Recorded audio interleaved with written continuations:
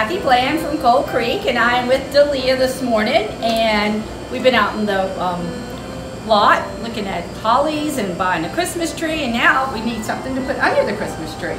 Yeah. So this year, Dalia, we have these great gift box ideas, and we have some themes put together from our market.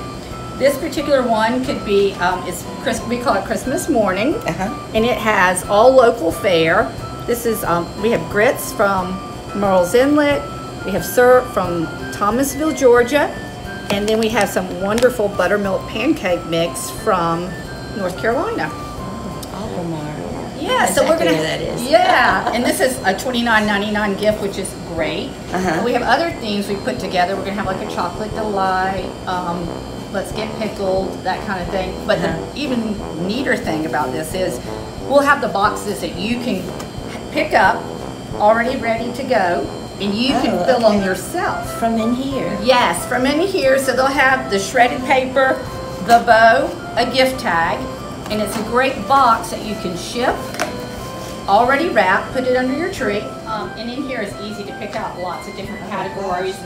Right, you do like hot cocoa with some pecan clusters for um, someone that loves pecans, and who doesn't love pecans? And we have lots of preserves, so we have a theme box, or you could do your own. It's going to be called Spread the Love Oh, yeah. which is really good.